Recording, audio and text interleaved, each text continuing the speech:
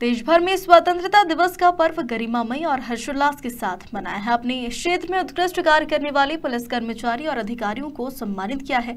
ऐसा ही नज़ारा अशोकनगर में देखने को मिला, जहाँ उत्कृष्ट परेड संचालन के लिए मंत्री ब्रजेंद्र सिंह यादव ने सूबेदार आईना साहिबा को सम्मानित किया।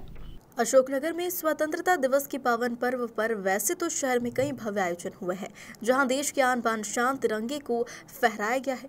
मुख्य कार्यक्रम पुलिस ग्राउंड पर हुआ और जहाँ मंत्री ब्रजेंद्र सिंह यादव ने झंडा वंदन कर परेड की सलामी ली है। स्वतंत्रता दिवस के अवसर पर ज़िले में अलग अलग विभागों में बेहतर कार्य करने वाले अधिकारी कर्मचारियों को प्रशस्ति पत्र व शील्ड देकर सम्मानित किया।